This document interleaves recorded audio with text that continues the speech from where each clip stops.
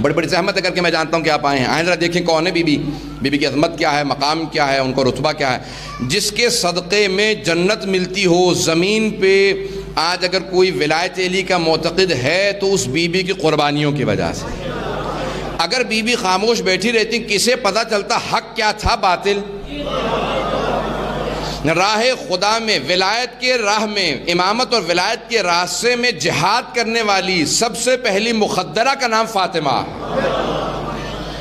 कि दिफा विलायत के लिए खड़ी हो गई बीबी और जब पूछा गया कि क्या बात है, ये जो इबन बिल हदीद मतजली ने अपने उस्ताद से सवाल किया, क्या बात है? जब बीबी ने मुतालबा किया था, फदक का क्यों नहीं दिया गया फदक? कहा कि नहीं, मामला फदक का नहीं था।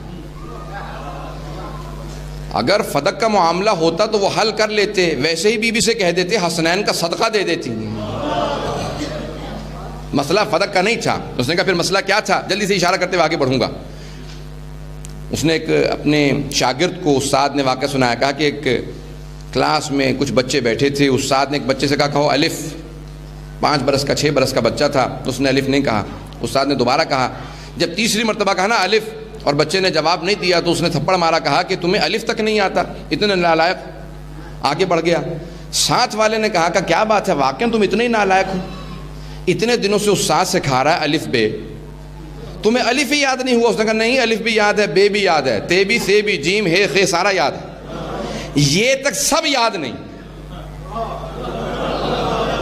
नहीं पहुँचे। नहीं पहुँचे समझ, सारे मजमे की तवज्जो चाहूँगा।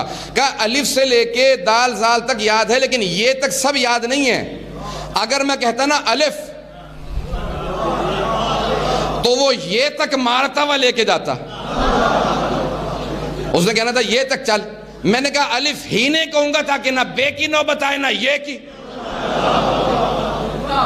पता नहीं, वादे हुई नहीं। बात वादे हुई। उसने कहा कि तुझे समझ नहीं आया। एबन बिल हदीद मोतजरी उस्ताद ने कहा कि तुझे समझ नहीं आया। बीबी ने फदक नहीं मांगा था। फदक इब्तदा थी। फदक अलिफ था, खिलाफत ये।